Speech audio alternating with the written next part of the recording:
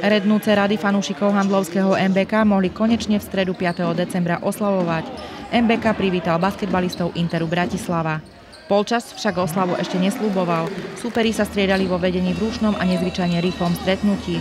V prvej polovici zápasu boli na koni hostia, keď sa ich náskok pohyboval v rozpeti 3 až 7 bodov. Polčas skončil 57-59.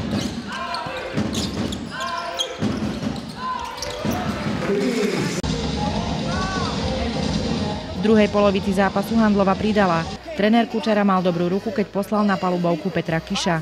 Svojimi bodmi a mnohými výbornými zákrokmi pomohol vlastnému týmu stiahnuť náskok hostí. Záverečná štvrtina sa začala náporom a bodmi MBK. Peyton zariadil najskôr vyrovnanie, pridal ďalšie body a keď mu trojkou pomohol Kiš, Handlova vyhrávala o 6 bodov. Verní diváci odmenili svojich potleskom a hala ožila.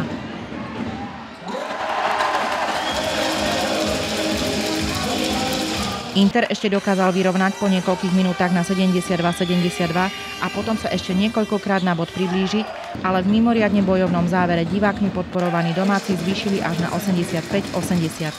Potles si v posledných sekundách vyslúžil aj bratislavský hráč Miloševič, keď zázračnou trojkou takmer spod vlastného koša znížil na konečných 85-83.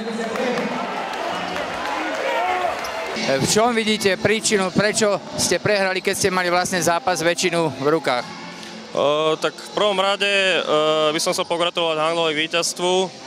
Uh, odohrali výborný zápas proti nám a v čom hľadať príčinu? No, to, čo sa opakuje v každom zápase, a to jednoznačne, máme urobený scouting, či už systém holohráčsky, žiaľ Bohu, neviem čím, čím to je, či to je už únavou, alebo, alebo neviem si to vysvetliť, stratou koncentrácie ako koncu zápasu, jednoducho hráči, o ktorých vieme, či už sú to uh, prenikači, či už, sú to, či už sú to strelci, jednoducho ich nepokrývame, majú otvorené strely, čo bolo dnes vidno. Uh, Ondro Haviar, prienikmi, či už zakončoval, alebo získal, viazal na seba hráčov, otvoril svojich spoluhráčov a Milan Golian samozrejme skvelou trojkou strelbou z pola si myslím, že rozhodol a pre mňa ešte prekvapenie e, číslo 18 Kiš, tak ten dneska dneska prišiel na ihrisko, čo dostal do rúk, to premenil. Otvorené strely to boli, takže nemáme sa čo čudovať, takže v tom vidím hlavné príčiny.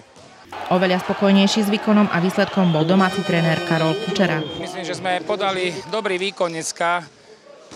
Pokúšame sa hrať o niečo rýchlejšie dopredu, ako sme hrali, čo nám snáď aj trochu vychádza. Niekedy sa nám nezadarí a nedáme z toho koš, tak je to potom také trošku také divoké, ale, ale to je moderný basketbal, hrať rýchlo dopredu a dneska hlavne, keď sme zlepšili obranu v druhom polčase, pretože v prvom polčase sme bránili katastrofu, tak e, sa nám podarilo supera prekonať a, a vyhrali sme. Som rád, že sme sa vyvarovali tej slabej štvrtiny, Uh, pripravujeme sa s chlapcami zodpovedne a na celý zápas, na celých 40 minút. No, dneska to vyšlo, som šťastný a musím chlapcom poďakovať za dobrý výkon. Myslím, že viacerí v rotácii podali dobrý výkon a to sa ozrkadlilo aj na výsledku zápasu. Tréner Kučera v zápase dal šancu mladému hráčovi Petrovi Kišovi.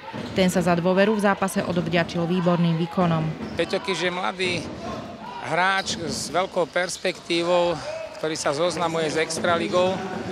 Samozrejme, treba nájsť ten hodný čas, kedy ho tam vypustíme.